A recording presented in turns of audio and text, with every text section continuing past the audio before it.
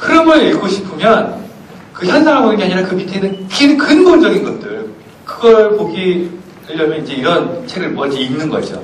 이 책 보게 되면 인터뷰 도사, 그 리서처 도사가 아 나는 말을 듣지만 말을 듣지 않아. 난 그 안에 이 사람이 왜 이야기하는지만 들어. 라고 하는 메시지거든요. 굉장히 중요한 메시지가 있고요.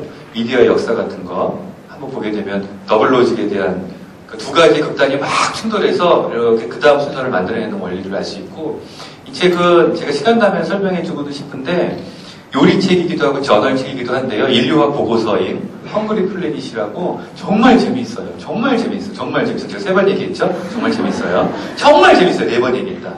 제가 누가 저한테 물어봤어요. 한명수님, 당신은 세상 최고의 UX 책은 뭐 같아요? 추천해주세요. Hungry Planet. 그럼 요리책이잖아요. 읽어봐. 리서치의 최고가 담겨 있어.